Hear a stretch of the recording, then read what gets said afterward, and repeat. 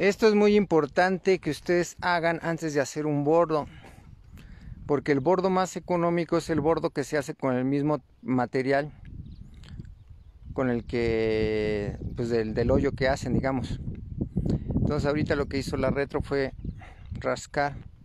De por sí aquí ya sabemos que es buen material para hacer bordos porque aquí mucha gente tiene jagüeyes y, y mantienen el agua. Pero bueno, aquí lo que se tendría que hacer, ahorita se rascó 1.60 que es la profundidad que va a tener este bordo.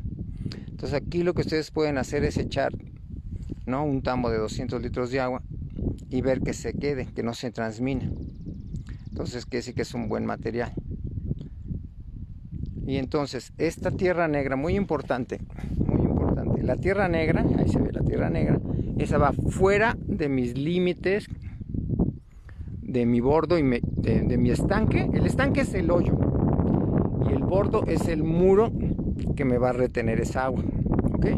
Bueno, entonces yo saco la tierra negra más allá de mis límites de mi estanque y de mi bordo. ¿Sí? Entonces aquí quitamos toda la tierra negra. O sea, la tierra negra la vamos a quitar más allá de la línea, última línea blanca. La sacamos. ¿Ok? Y luego se va a empezar a rascar el tepetate, o sí, tepetate, digamos en este caso, arcilla con tepetate. Aquí podemos verlo, de hecho.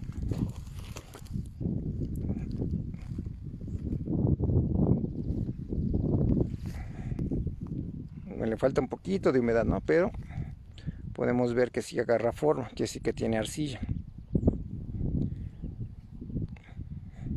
¿No?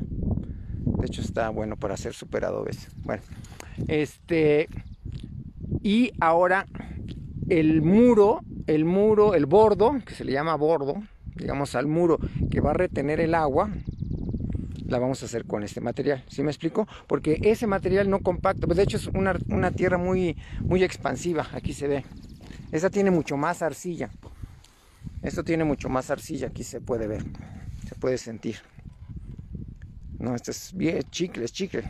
Bueno, eh, pero, pero lo malo es que como qué bueno que tiene arcilla, pero es expansivo, se hace, se hace muy, cambia mucho de tamaño. Entonces con esto no, no nos conviene hacer un bordo.